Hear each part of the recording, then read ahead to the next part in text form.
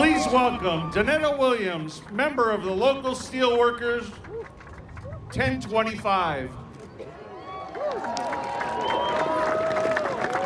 Welcome to the White House on this very historic day.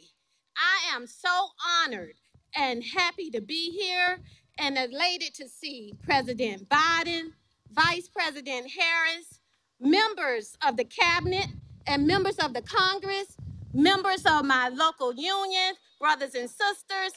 Is this not a great day to sign a bill?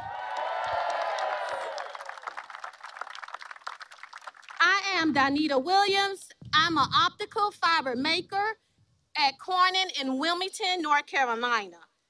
Our 326 members there and the steel workers throughout our great union supply America. We have the materials and components needed in our nation's infrastructure. Investments in infrastructure are critical to workers like me, my brothers and sisters in other in other industries, and I was so proud to join them to help pass this bill you will sign today, President Biden.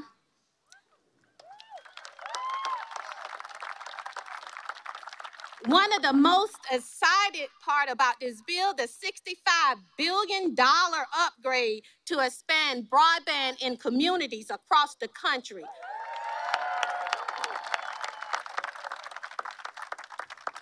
Communities like mine and rural North Carolina.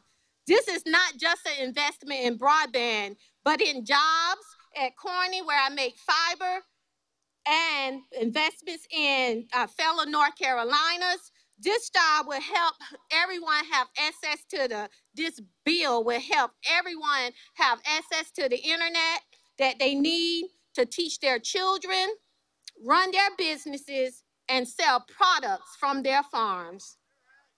These jobs are important. Working at Corning making optical fiber, I've been there 26 years. It helped me raise my daughter, who's now 30. As a single mom, I was able to have health care provided, able to send her to school to get an education, and it has allowed me to contribute to my local economy and community.